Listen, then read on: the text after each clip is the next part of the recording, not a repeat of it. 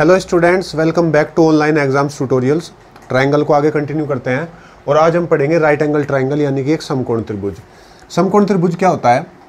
अगर एक त्रिभुज, यानी कि एक ट्रायंगल के अंदर हम किसी एक एंगल को 90 डिग्री ले लें, ठीक है? इस ट्रायंगल में मैं इस वाले एंगल को 90 डिग्री ले रहा हूँ। तो मैं इस ट्रायंगल को एक समकोण त्रिभुज, यानी कि एक राइट एंगल ट्रायंगल कह सकता हूँ, ठीक है? अगर इस साइड को मैं ए मानता हूँ, इसको बी इसको सी ठीक है? तो ये ए जो है, इसका लंब हो जाएगा। इसका परपेंडिकुलर हो जाएगा, जिसकी लेंथ है ए ये बी इसका बेस यानी कि आधार हो जाएगा, जिसकी लेंथ है बी और ये जो सी आपको लाइन दिखाई दे रही है, ये इसकी हाइपोटेनियस यानी कि कर्ण हो जाएगी। ठीक है? तो पिछले लेक्चर में मैंने आपको बताया था कि एक राइट एंगल ट्राइंगल का जो सेंट्रोइड होता है और इन सेंटर होता है, वो हमेशा ट्राइंगल के अंदर होता है, क्योंकि इसकी मीडियंस और इसका एंगल बाइसेक्टर दोनों के दोनों अंदर ही मीट करेंगे। ठीक है? जहाँ पे एंगल बाइसेक्टर्स मीट करते हैं, वो हमारा इन रेडियल इन सेंटर निकल के आता है और जहाँ पे हमारी सारी की सारी माध्यिका यानी कि मीडियंस मीट करती है, वहाँ पे हमारा सेंट्रोइड निकल के आता है। तो वे हमेशा इस ट्राइंगल के अंदर ही मीट करेंगे। तो मैं ये कह सकता हूँ कि इन सेंटर और सेंट्रोइड हमेशा इसके अंदर ही होंगे। लेकिन अगर मैं बात करूँ कि इसका सरकम सेंटर और ऑर्थो सेंटर कहाँ होगा? पहले ऑर्थो सेंटर को देखते हैं। ऑर्थो सेंटर क्या होता है कि एक वर्टेक्स है, उसके सामने वाली भुजा पे परपेंडिकुलर यानी कि लंब। तो ये यहाँ से देखिए आप, अगर मैं इसको नाम दूँ ए बी सी तो ए से जो बी सी के ऊपर लंब आ रहा है, वो यहाँ पे आके मिल रहा है। और सी से जो ए बी के ऊपर लंब आ रहा है, वो भी यहीं पे आके मिल रहा है। ठीक है? तो यानी कि मैं कह सकता हूँ कि ये जो बी पॉइंट है, जहाँ पे मेरा 90 डिग्री एंगल बन रहा है, ये इसका ऑर्थो सेंटर होगा। ठीक है? और ये क्वेश्चन पूछा भी जा चुका है कि एक राइट एंगल ट्राइंगल के अंदर ऑर्थो सेंटर कहाँ पे होता है? एक राइट एंगल ट्राइंगल का ऑर्थो सेंटर यानी कि लंब केंद्र उस पॉइंट पे होता है, जिस पॉइंट पे उसका 90 डिग्री एंगल है। ठीक है? अब बात करते हैं सरकम सेंटर की। सरकम सेंटर भी मैंने आपको लास्ट लेक्चर में बताया था कि सरकम सेंटर जो होता है, वो हाइपोटेनियस यानी कि कर्ण के बिल्कुल मध्य बिंदु पे होता है। अगर डी ए सी का मिड पॉइंट है, ठीक है? तो ये जो डी पॉइंट है, यही इसका सरकम सेंटर है। और अगर मैं डी ए को रेडियस मान के या फिर डी सी को मैं मान के एक सर्कल ड्रॉ करता हूँ, यानी इसका सर्कल सरकम सर्कल ड्रॉ करता हूँ तो वो इस तरीके से बनेगा। जहाँ पे मेरा ये जो ए सी है, इसका जो, इसकी जो कर्ण है वो इस सर्कल का डायमीटर होगा या फिर ए डी और डी सी इसकी रेडियस होगी। इसके साथ हम एक चीज़ और निकाल सकते हैं कि डी को अगर मैं बी से मिलाऊं तो बी डी भी तो इसकी, अगर ये आर है, ये भी आर है, यानी कि सर्कम रेडियस को मैं आर बोल रहा हूँ, ठीक है? तो परि परिव्रत की तरजा ठीक है, ये परिव्रत होगा, यानी कि इसका सर्कम सर्कल तो ये जो ए सी है, ये बी आर है, और जो ये सी तो इसकी लेंथ है। ये जो ए डी है ये बी आर है और ये डी सी है, ये बी आर है, ये भी रेडियस है, ठीक है? तो ये भी तो रेडियस ही होगी, क्योंकि ये भी तो सेंटर से सरकम पे मीट कर रही है। और ये साथ के साथ इस पॉइंट से सामने वाली साइड के मिड पॉइंट पे मिली हुई है, यानी कि ये माध्यिका भी है, ठीक है? बी डी हमारी माध्यिका भी है, यानी कि मैं ये कह सकता हूँ कि यहाँ पे बी डी बराबर ए डी बराबर डी सी होगा।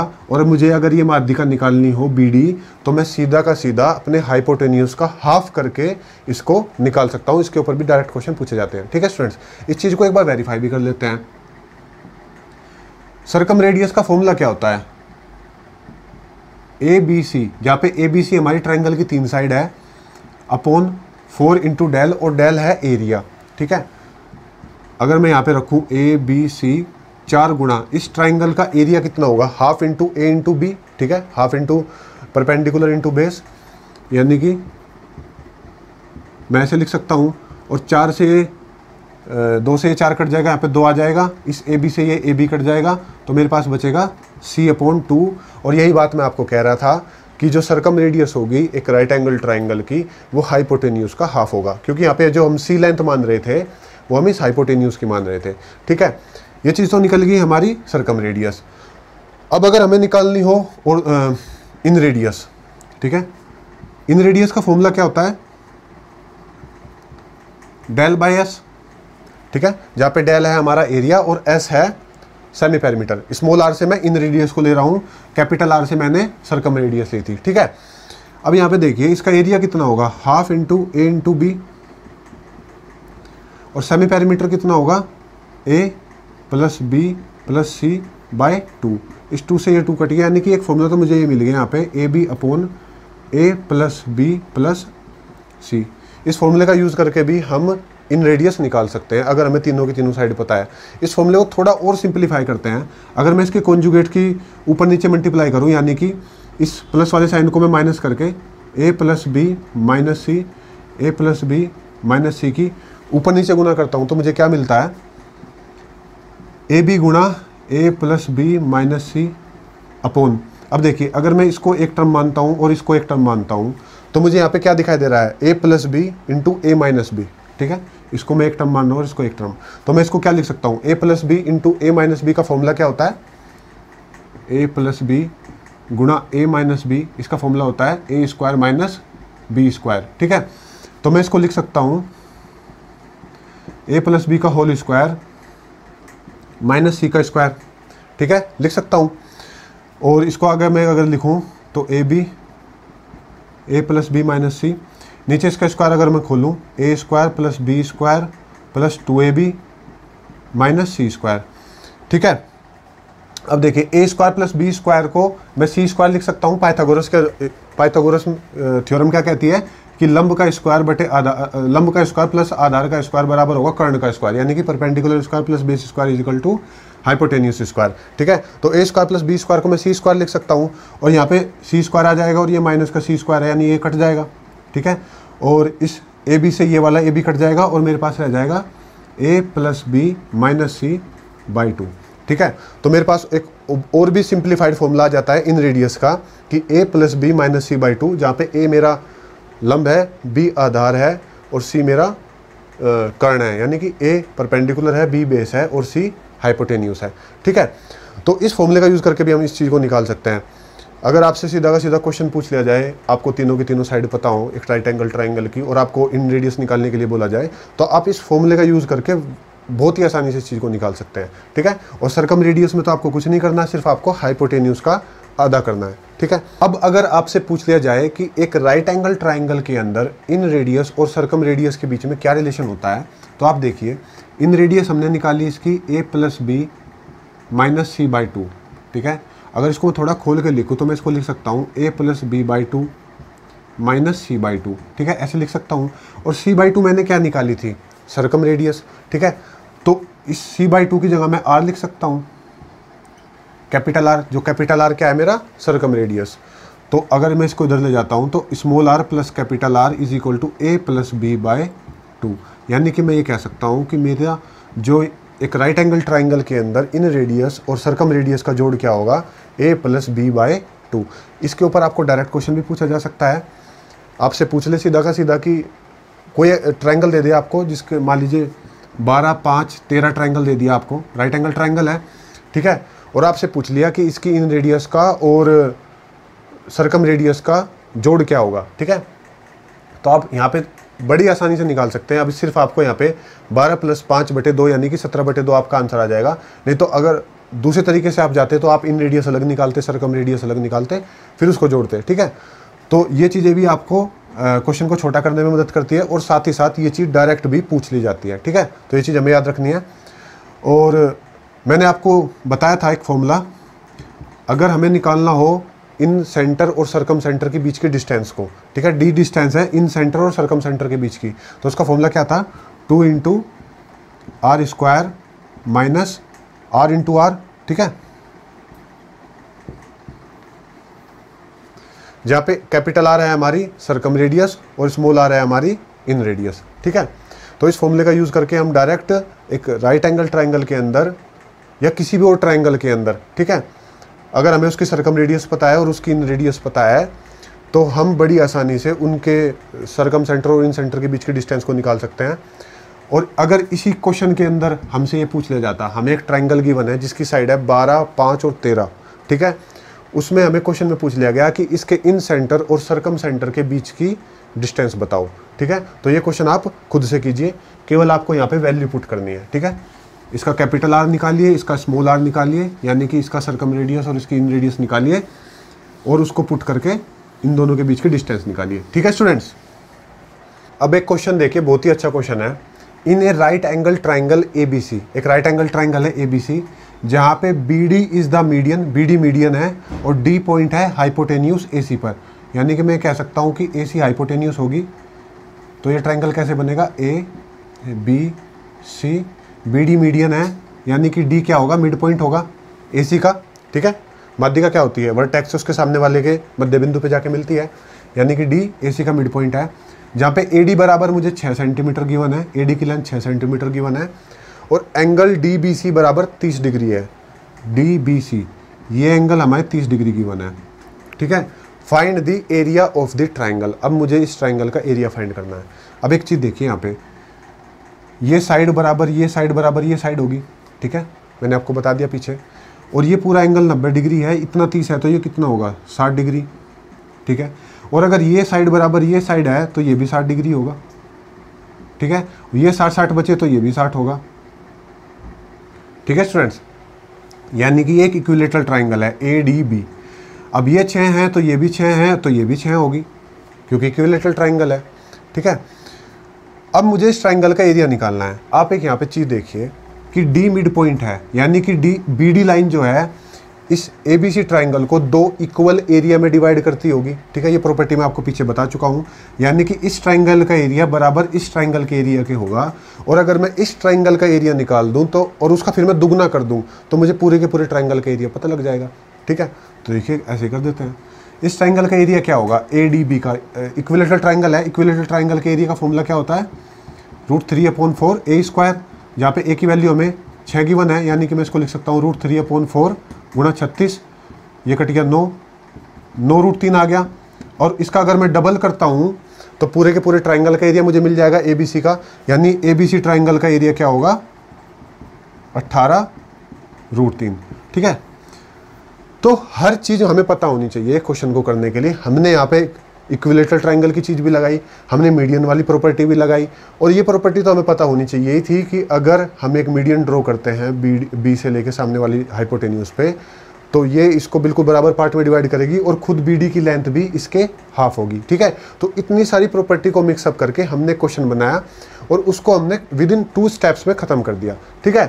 तो हर चीज़ का हमें पता होना चाहिए। इसीलिए मैं कहता हूँ कि अलग अलग तरह के क्वेश्चन की हम प्रैक्टिस करते हैं। जितने क्वेश्चन की हम प्रैक्टिस करते हैं, उतना ही हमारा माइंड का डाटाबेस जो है, बढ़ता चला जाता है और एक क्वेश्चन को करने के कई कई तरीके हमारे दिमाग में आ सकते हैं, ठीक है? अगर आप इसको खुद से क्वेश्चन को करने बैठे, पिछले रूल पढ़ के, इसका सोल्यूशन ना देखिए कि मैंने कैसे किया। केवल इस क्वेश्चन को लिखिए और उसको खुद से करने की कोशिश कीजिए। एक आधा तरीका आपके अंदर से भी निकल के आएगा कि इस क्वेश्चन को दूसरे तरीके से भी किया जा सकता था, ठीक है स्टूडेंट्स क्योंकि एक क्वेश्चन को करने के कई तरीके होते हैं ज्योमेट्री के अंदर।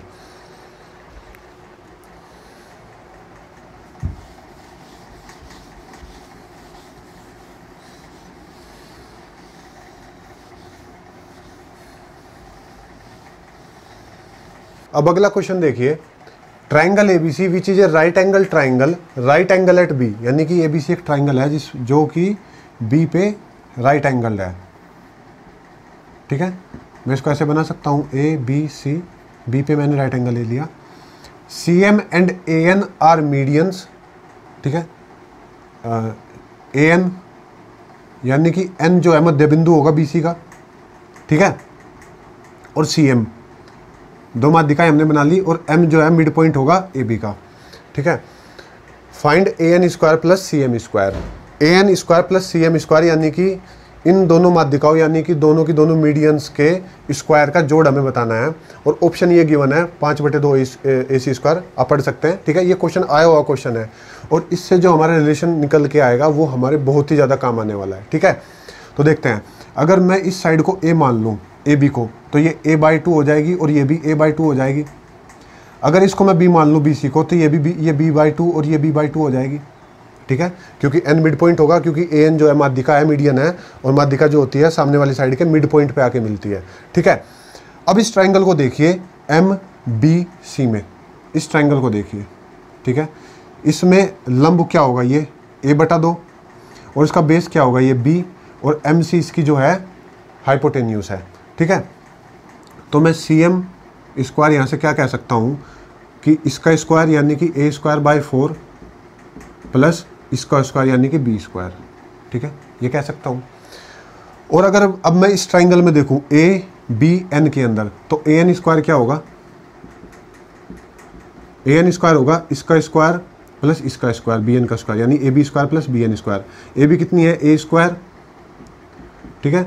और ये कितनी है? बी बटे बी बाई टू यानी कि बी स्क्वायर बाय फोर ठीक है? A square plus B square by four अब इन दोनों का हमें जोड़ निकालना था तो इन दोनों का जोड़ अगर हम करें C M square plus A N square बराबर A square by four plus A square को हम जोड़ते हैं तो क्या मिलता है हमें? Five A square by four और इन दोनों को जोड़ेंगे तो हमें क्या मिलेगा? Plus five B square by four ठीक है? और अगर इस फाइव बाई फोर को मैं बाहर निकाल लूँ, दोनों में से कॉमन ले लूँ तो अंदर बचा मेरा A square plus B square A square plus B square अगर ये तीसरी वाली साइड सी है, यानी कि ए सी तो A square plus B square A C square के बराबर होगा, ठीक है पाइथागोरस के अनुसार तो ये हो जाएगा हमारा ए सी स्क्वायर ठीक है? तो यानी कि मेरा जो बी ऑप्शन है five by four A C square ये मेरा करेक्ट आंसर होगा। अब यहाँ पे हमें देखिए क्या रिलेशन मिला, कि अगर दो मीडियन है हमारे पास एम वन और एम टू ठीक है? तो इनके स्क्वायर का जोड़ किसके बराबर होता है? हाइपोटेन्यूज के स्क्वायर के पाँच बटा चार। ठीक है? ये रिलेशन हमें याद रखना है। ठीक है?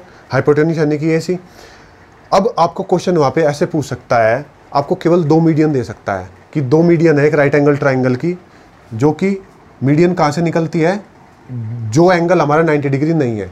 हमारे जो 90 डिग्री एंगल नहीं है, यानी ए और सी यहाँ से हमारी दो मीडियन है, उनकी लेंथ हमें दे देगा और हमसे पूछेगा कि उस ट्राइंगल की हाइपोटेन्यूस बताओ, ठीक है? या तो फिर हम वहाँ पे सोल्व करने लग जाएँगे। ये वाला प्रोसीजर जो हमने इसको प्रूव करने के लिए लगाया है, वही प्रोसीजर हमें दोबारा लगाना पड़ेगा। लेकिन अगर हमें डायरेक्ट रिलेशनशिप याद है, इनके बीच में दो मीडियंस के और हाइपोटेन्यूस के तो हम इस फॉर्मूले का डायरेक्ट यूज़ करके उस क्वेश्चन को सोल्व कर सकते हैं। अगली चीज़, ये क्वेश्चन भी आया हुआ है, मैंने कैट के अंदर देखा था कि हमें हाइपोटेन्यूस गिवन थी एक मीडियन गिवन थी और दूसरी मीडियन पूछ रखी थी। ठीक है? तो देखिए कैट लेवल के क्वेश्चन में इतनी आसान बातें पूछी गई हैं। अगर हमें रिलेशन याद है तो हम आसानी से उस क्वेश्चन को अटेम्प्ट कर सकते हैं। अब अगला क्वेश्चन देखिए। A B C is an isosceles right angle triangle देखिए राइट एंगल ट्राइंगल भी है और आइसोसेलेस भी है। आइसोसेलेस यानी कि समदुई बाहु, यानी कि दो भुजाएँ बराबर होंगी, दो साइड बराबर होंगी आइसोसेलेस ट्राइंगल में होती हैं। तो कौन सी दो साइड बराबर हो सकती हैं? अगर मेरे पास ये एक राइट एंगल ट्राइंगल है इसकी कौन सी दो भुजाएँ बराबर हो सकती हैं? देखिए हाइपोटेन्यूज हमेशा बेस से और परपेंडिकुलर दोनों से बड़ा होता है, तभी हमारा राइट एंगल ट्राइंगल बनता है, ठीक है? ये मैं आपको बता भी चुका हूँ। यानी कि अगर कोई सी दो साइड अगर बराबर हो सकती है, एक राइट एंगल ट्राइंगल में तो उसका लंब और उसका आधार यानी कि परपेंडिकुलर और बेस ही बराबर हो सकता है, ठीक है? उस केस में क्या होगा फिर? मैं ये भी कह सकता हूँ, अगर ये नाइन्टी है तो ये दोनों साइड बराबर हैं तो ये दोनों एंगल बराबर होंगे, इनके सामने वाले एंगल और इन दोनों का जोड़ नब्बे है तो यानी कि ये भी पैंतालीस होगा और ये भी पैंतालीस होगा। ठीक है? ये चीज़ आपको ध्यान रखनी है। अभी के लिए इसको मिटा देता हूँ। और इसमें आगे बोला क्या गया है? I is the incentre of the I is the incentre incentre बना लिया हमने आई ठीक है? If area of triangle A I B is equal to two centimetre square A B C क्योंकि एंगल ए बी सी हमें 90 degree के बनाया यानी कि बी एंगल पे इसका 90 डिग्री एंगल होगा, और ए आई बी यानी कि ये वाला ट्राइंगल इस ट्राइंगल का हमें एरिया गिवन है दो centimetre square find area of triangle A I C इस ट्राइंगल ए आई सी इसका एरिया हमें फाइंड करना है, ठीक है? इसका गिवन हमें टू सेंटीमीटर स्क्वायर और इसका हमें फाइंड करना है। ठीक है फ्रेंड्स अब इसमें एक चीज़ देखिए। इस टाइप के ट्राइंगल में आपको ये चीज़ हमेशा याद रखनी है। मैं इसको अलग से करके बता रहा हूँ। ये एक है तो ये भी एक होगा। अगर मैं एक राइट एंगल आइसोसेलेस ट्राइंगल लेता हूँ तो यानी अगर ये एक है तो ये भी एक होगा तो ये कितना होगा? रूट दो होगा, ठीक है? अगर मैं इसके अंदर एक इन सर्कल ड्रॉ करता हूँ आई जिसका इन सेंटर होगा, ठीक है? इस सर्कल का सेंटर होगा आई और ये जो आई होगा, इस ट्राइंगल का इन सेंटर होगा। और यहाँ से ये जो डिस्टेंस अगर मैं लूँ, इसकी इन रेडियस अगर लूँ स्मॉल आर मैं मान लेता हूँ तो यहाँ पे ये परपेंडिकुलर होगी। ये बात मैंने आपको पीछे ही बताई थी।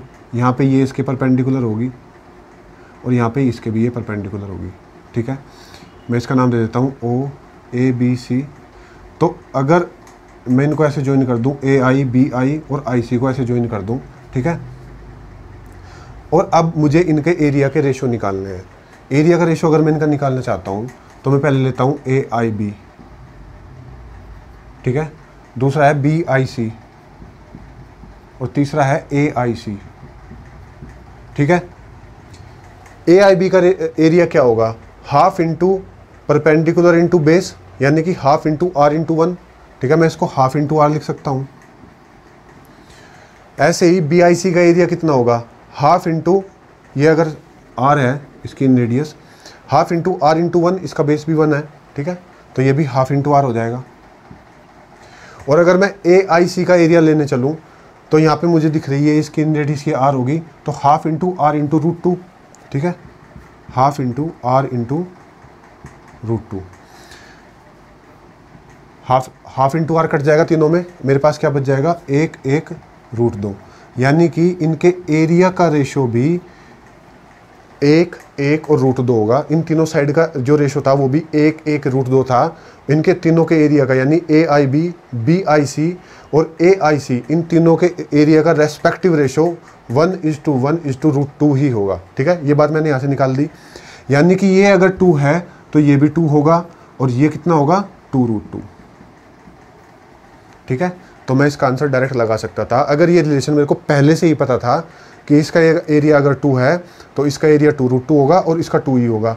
और अगर हमसे पूछ लेता, इसका एरिया देखे, पूरे ट्राइंगल का एरिया क्या होगा तो कितना होगा? चार प्लस दो रूट दो। ठीक है? तो इतनी आसानी से हम ये क्वेश्चंस कर सकते हैं, अगर हमें ये कुछ प्रॉपर्टीज़ का पता है। ठीक है? और ये मेहनत जो हमें करनी होती है, घर पे करनी होती है, ये चीज़ें हमें एग्ज़ाम के अंदर जाकर नहीं निकालनी।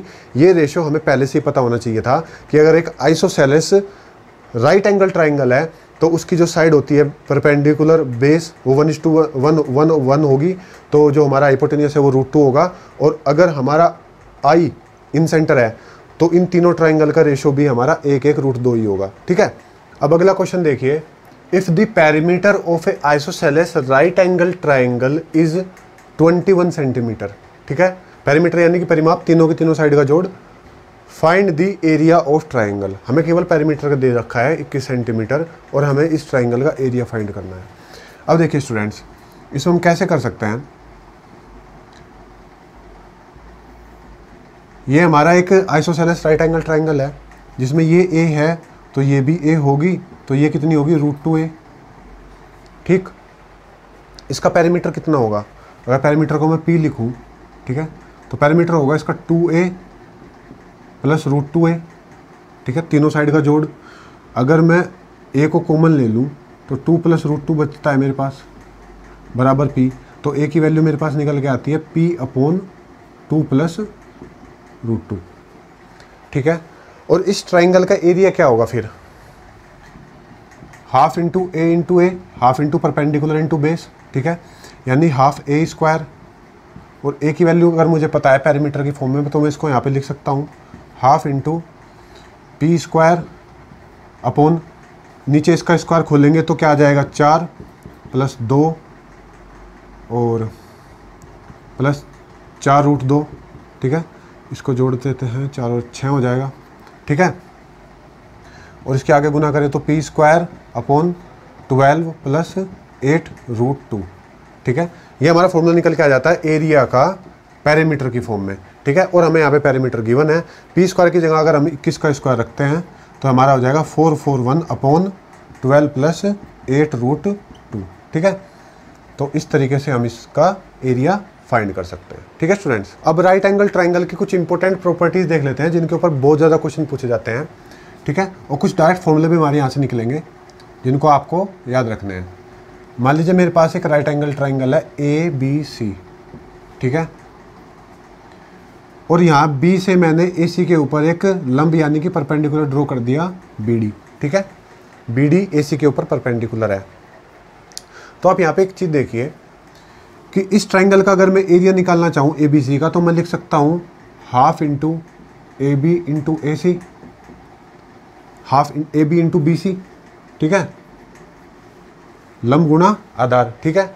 और इसी तरीके से अगर मैं इस ट्राइंगल के अंदर देखूँ अगर मैं ए सी को बेस मानता हूँ, ठीक है? इस ट्राइंगल को मैं घुमा के ऐसे देखूँ, ठीक है? बी को ऊपर ला के तो ए सी हमारा बेस हो जाएगा और बी डी हमारा लंब हो जाएगा। यानी कि मैं ये भी कह सकता हूँ कि इसका area half into B D into A C भी होगा, ठीक है? अगर हाफ़ से हाफ़ कट जाता है तो बी डी की वैल्यू कितनी निकल के आती है? ए बी गुणा बी सी बटे ए सी ठीक है? ये फॉर्मूला आपको याद रखना है। बी डी की लेंथ डायरेक्ट पूछ ली जाती है, एक राइट एंगल ट्राइंगल आपको दे देगा, कह देगा कि बारह, पाँच, तेरह का एक राइट एंगल ट्राइंगल है बी से हमने ए सी के ऊपर एक परपेंडिकुलर डाल दिया तो इस परपेंडिकुलर की लेंथ बताओ। ठीक है, उसको हम डायरेक्ट निकाल सकते हैं ए बी गुणा बी सी बटे ए सी करके। ठीक है, एक फॉर्मूला तो ये हो गया। अब एक चीज़ अगली देखिए, अगर ये एंगल मैं थीटा मानता हूँ, ये एंगल नब्बे है तो ये कितना बचेगा? नब्बे माइनस थीटा। ठीक है? अब इस ट्राइंगल के अंदर अगर मैं देखूँ टेन थीटा कितना होगा? इस ट्राइंगल के अंदर बी डी सी के अंदर टेन थीटा क्या होगा? थीटा के सामने वाली साइड जो होगी, वो उसका लंब होगी, और जो थीटा से लगी हुई साइड है, ये डी सी ये इसका आधार होगी, कि क्योंकि ये एंगल 90 डिग्री है, ठीक है? और ये हाइपोटेन्यूस होगा बी सी तो यानी कि टेन थीटा बराबर क्या निकल के आएगा? B D upon D C ठीक? और ऐसे ही अगर मैं इस ट्राइंगल के अंदर टेन नाइनटी माइनस थीटा लगाऊँ टेन नाइनटी माइनस थीटा की वैल्यू कितनी होगी? B D upon D A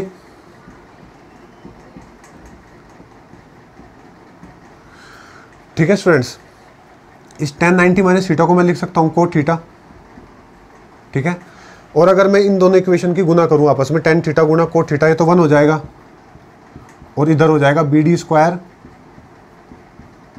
upon A D into D C ठीक है? यानी कि मैं ये कह सकता हूँ कि बी डी स्क्वायर बराबर ए डी गुणा डी सी होगा। ठीक है? एक हमारे पास आइडेंटिटी ये निकल के आती है कि एक राइट एंगल ट्राइंगल के अंदर अगर बी डी लंब है हाइपोटेनियस यानी कि एसी के ऊपर तो बी डी का स्क्वायर होगा ए डी गुणा डी सी ठीक है? अब अगली चीज़ देखिए। अगर बी डी सी ट्राइंगल के अंदर मैं कोस थीटा देखूँ क्या होगा? तो कोस थीटा क्या होगा इसके अंदर? बेस अपॉन हाइपोटेनियस होता है कोस थीटा तो अगर ये एंगल थीटा है तो बेस क्या होगा? डी सी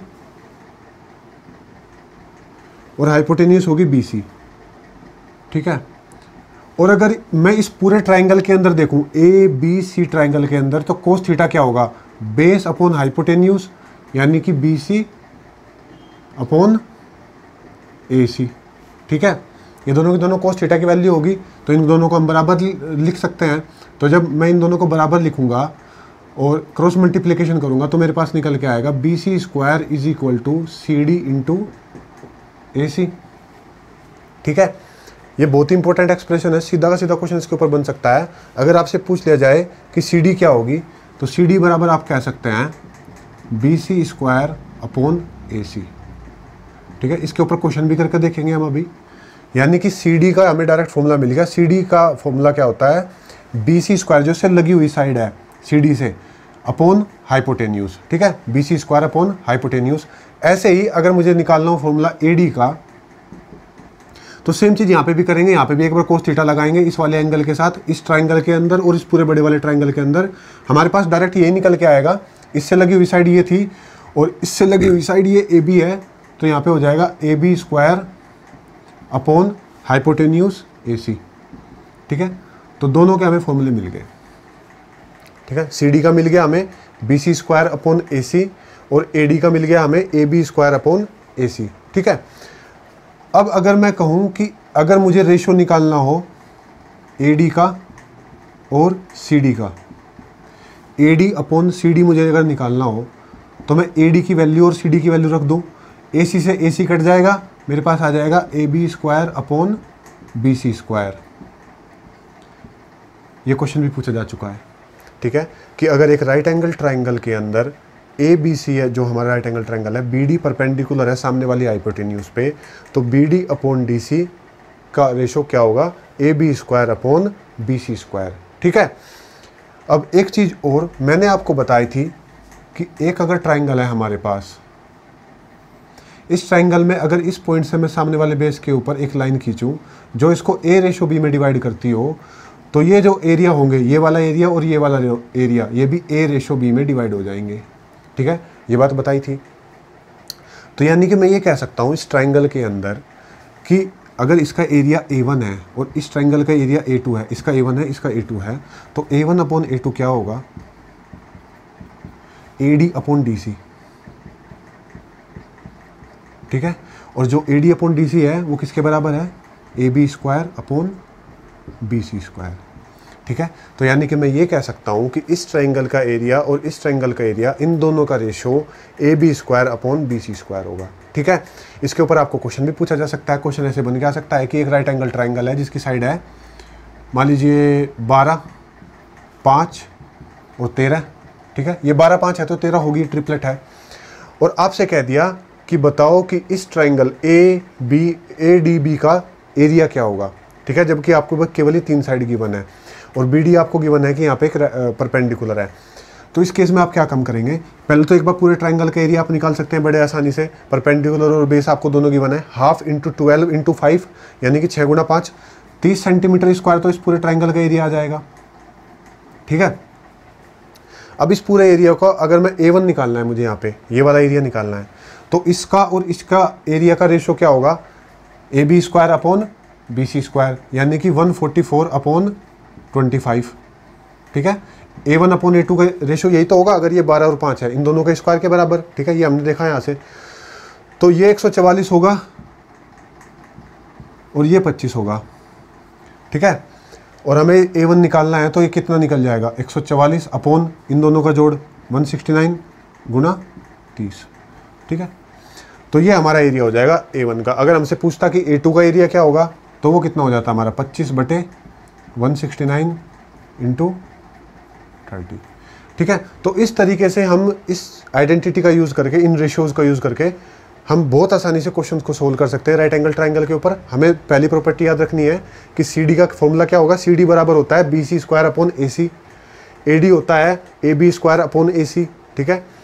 ए डी और डी सी का जो रेशो होता है, वो होता है A B square upon B C square और इन दोनों जो ट्राइंगल बनते हैं, ये बीच में दो ट्राइंगल बने ए वन और ए टू इन, अगर ए वन और ए टू इन दोनों का एरिया है तो A one upon A two होगा A B square upon B C square ठीक है स्टूडेंट्स आगे क्वेश्चन देखते हैं एक। In a triangle A B C right angle at B यानी कि एक ए बी सी हमारे पास ट्राइंगल है, जो कि बी पे राइट एंगल है, यानी कि एंगल बी 90 डिग्री होगा, ये ए ये सी ठीक है? ए बी बराबर नौ सेंटीमीटर ए सी बराबर 15 सेंटीमीटर ठीक है?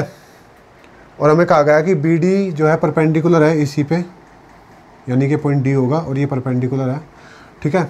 और हमसे पूछा गया है कि ए डी की लेंथ क्या होगी। बड़ी इजीली हम फाइंड कर सकते हैं, पीछे मैंने आपको इसका डायरेक्ट फॉर्मूला बताया। लेकिन उसके साथ साथ एक चीज़ यहाँ पे मैं आपको और बता देता हूँ। देखिए, ये नौ है, ये पंद्रह है, ठीक है? तीसरी वाली साइड क्या होगी?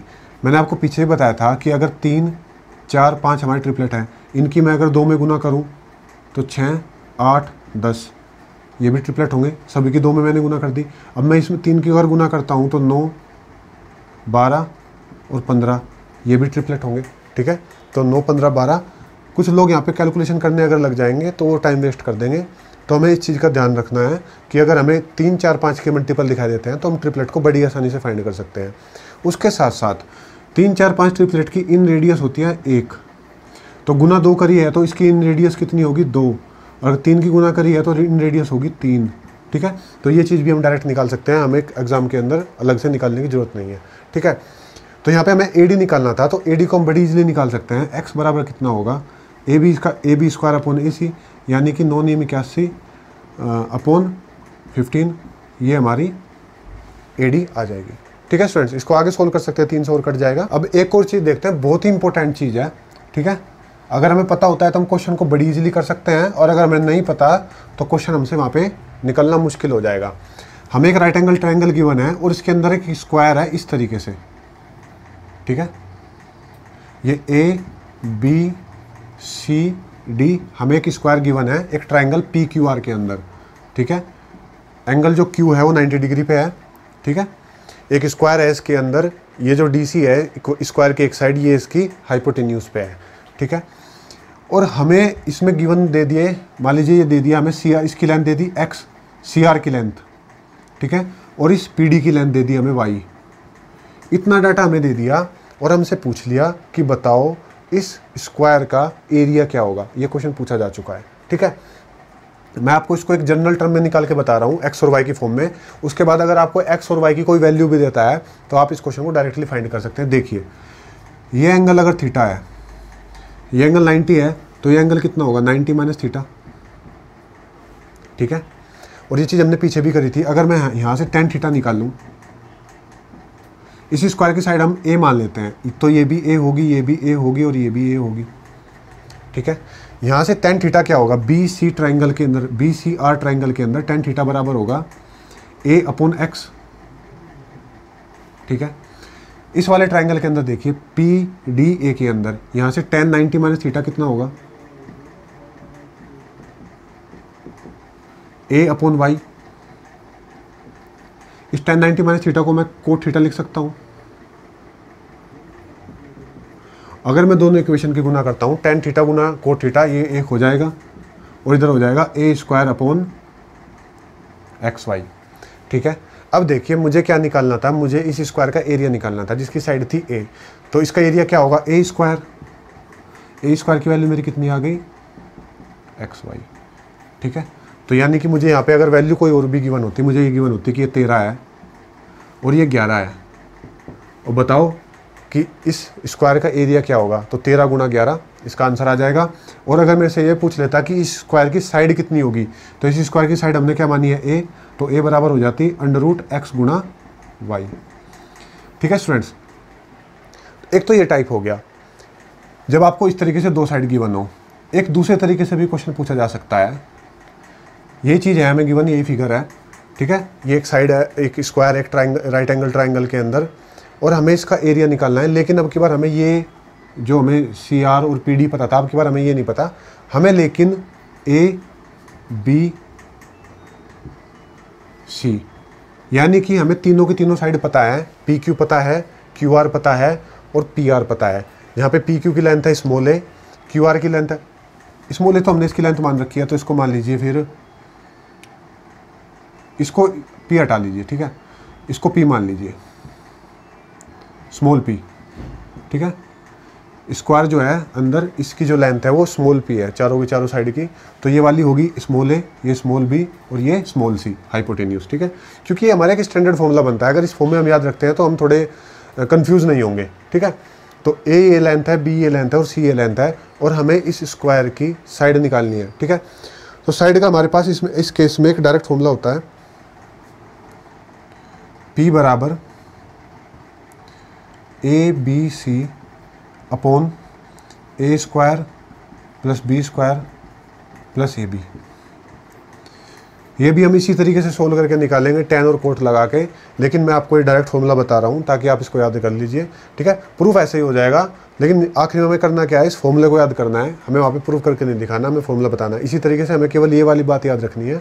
अगर यहाँ पे एक्स और वाई हमें गिवन है तो किस तरीके से हम साइड निकालते हैं? तो यहाँ पे जब हमारी पी निकल जाएगी, यानी इस स्क्वायर की साइड निकल जाएगी ए बी सी का यूज़ करके, उसके बाद हम फिर इसका एरिया भी बड़ी इजीली फाइंड कर सकते हैं। यानी कि अगर आपको ए बी सी की वैल्यू गिवन हो, कोई ट्रायंगल गिवन हो, तीन, चार, पाँच का गिवन हो, ये तीन है, ये चार है और ये पाँच है, ठीक है? और इसके अंदर ऐसे ये स्क्वायर बना हुआ है तो बताओ कि इस स्क्वायर का एरिया क्या होगा? इस क्वेश्चन को आप खुद से सोल्व कीजिए। एक ही इस स्क्वायर की साइड निकालिए, ये वो फॉर्मूला पुट करके और उसके बाद फिर इसका एरिया निकालिए, ठीक है? अब अगली चीज़ देखिए, अगर आपको राइट एंगल ट्रायंगल के अंदर स्क्वायर इस तरीके से गिवन हो, जहाँ पे उसकी जो एक वर्टेक्स है, वो हमारे ट्रायंगल के जो 90 डिग्री वाला वर्टेक्स है, बिल्कुल उस पर कोइंसाइड हो, और इसकी ये जो दो लाइन है स्क्वायर की, वो हमारी ट्राइंगल की दो लाइन के ऊपर हो, ठीक है? तो इस केस में और अगला जो दूसरा वाला वर्टेक्स जो बच गया, वो हमारा हाइपोटेन्यूस के ऊपर है। तो इस केस में फिर हम इस स्क्वायर का एरिया कैसे निकाल सकते हैं? इसकी साइड कैसे निकाल सकते हैं? मान लीजिए इस स्क्वायर की साइड जो है पी है तो ये भी पी होगी, ये भी पी होगी और ये भी पी होगी, ठीक है? स्मॉल पी मैं मान रहा हूँ। इस लेंथ को मैं मान लेता हूँ स्मॉल ए ठीक है? इस लेंथ को मैं मान लेता हूँ स्मॉल बी ठीक है? ये पी है, ये बी है पूरी तो ये कितनी बची? बी माइनस पी ठीक है? इसी तरीके से ये वाली कितनी बचेगी? A P A minus small P ठीक है? अब अगर एंगल ये वाला थीटा है तो टेन थीटा की वैल्यू क्या होगी इस ट्राइंगल के अंदर? P upon B minus P ठीक है? और अगर इस ट्राइंगल के अंदर में ये 90 माइनस थीटा होगा, अगर ये वाला थीटा है, ये 90 है तो 90 माइनस थीटा बचा। तो कोट यहाँ से वही आपको टेन नाइन्टी माइनस थीटा, जो आगे जाके आ जाएगा कोट थीटा, उसकी वैल्यू क्या होगी? P upon A minus P ठीक है? अब वही हम जो पहले करते थे कि दोनों की हम गुना करेंगे दोनों इक्वेशन की तो एक बराबर P upon B minus P गुणा P upon A minus P ठीक है स्टूडेंट्स अब देखिए, जब हम इसकी आपस में गुना कर देते हैं तो पी स्क्वायर बराबर आ जाएगा बी माइनस पी गुना ए माइनस पी अंदर गुना कीजिए ए बी और आगे होगी फिर minus B P minus A P plus P square ठीक है? इधर ये पी स्क्वायर है। इस पी स्क्वायर से पी स्क्वायर कट जाएगा, ठीक है? और इस ए बी को इधर ले जाइए। ए बी को ए रखिए फिर इसको, इनको इधर लेकर आ जाइए, ठीक है? B P minus A P ठीक है? इसमें से पी जब कॉमन आ जाएगा तो अंदर क्या बचेगा? ये दोनों के दोनों माइनस है तो इधर आके दोनों प्लस हो जाएँगे, ठीक है? तो अंदर बचेगा ए प्लस बी बराबर ए बी तो यानी कि मैं यहाँ पे कह सकता हूँ कि पी की वैल्यू कितनी आ जाएगी? A B upon A plus B ठीक है? तो इस तरीके से अगर अगर मेरे को फिगर गिवन है, और ये दो साइड मेरे को पता है ए और बी ए है हमारी ए बी और बी है हमारी बी सी तो इस स्क्वायर की साइड हम बड़ी इजीली निकाल सकते हैं A B upon A plus B करके, ठीक है? और साइड पता लग जाएगी तो फिर इस स्क्वायर का एरिया भी बड़ी आसानी से निकाल सकते हैं, ठीक है? घर पे एक क्वेश्चन इसी तरीके का कीजिए। मान लीजिए ये जो स्क्वायर था, ये जो राइट एंगल ट्राइंगल है, इसकी साइड है पाँच, ये वाली है बारह बी और ये वाली है तेरह ठीक है? तेरह ही होगी जब ये पाँच और बारह हो गई। और इसके अंदर इसी तरीके से स्क्वायर बना हुआ है और इस स्क्वायर का आपको एरिया फाइंड करना है, ठीक है? तो ये आपका होमवर्क है। तो स्टूडेंट्स आज के लेक्चर में इतना ही। आज का लेक्चर वैसे भी काफ़ी बड़ा हो चुका है। और जो कुछ इसके कंसेप्ट बचते हैं एक दो, और शायद अगले लेक्चर में हम ट्रायंगल को ख़त्म ही कर दें, क्योंकि बहुत सारी चीज़ें हमने कवर कर ली है। एक दो चीज़ें बची हैं।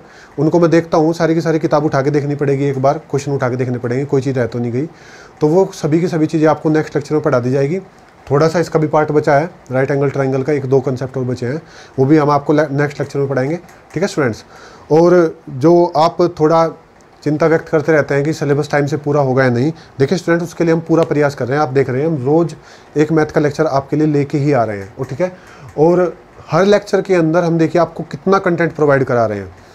जबकि आज के लेक्चर में जो जितना कंटेंट था, ये तीन लेक्चर का कंटेंट है, ठीक है? तो इसी तरीके से आपके लिए जो लेक्चर हम डिवाइड कर रहे हैं, उनका प्रोपोर्शन इस तरीके से रखा है कि टाइम से आपका सिलेबस पूरा हो जाए और हम इसी चीज़ के प्रयास में है कि आपका सिलेबस हम टाइम से पूरा करा दें, आपके एग्ज़ाम से पहले पूरा करा दें। ठीक है स्टूडेंट्स तो thank you and have a nice day